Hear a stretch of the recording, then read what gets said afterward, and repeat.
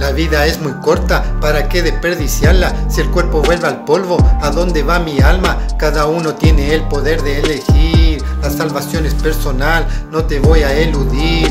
El Señor Jesús es nuestro único Señor y Salvador, mediador del nuevo pacto y su sangre derramada habla mejor. No sigan ignorando su amor, demostrado en el sacrificio. Entréguele la vida por completo su servicio. Dios cuenta con nosotros para rescatar a los perdidos, dar vista a los ciegos y despertar a los dormidos que están con las vendas espirituales en los ojos. Necesitamos cortar las cadenas y abrir los cerrojos esclavizan a la humanidad. Porque donde está el Espíritu del Señor, ahí hay libertad. Y eso es lo único que me conforta, porque la vida es demasiado corta. Aunque venga el león rugiente, yo estoy firme con DJE y me dice esfuérzate y sé valiente, porque nunca pagarán mi fe.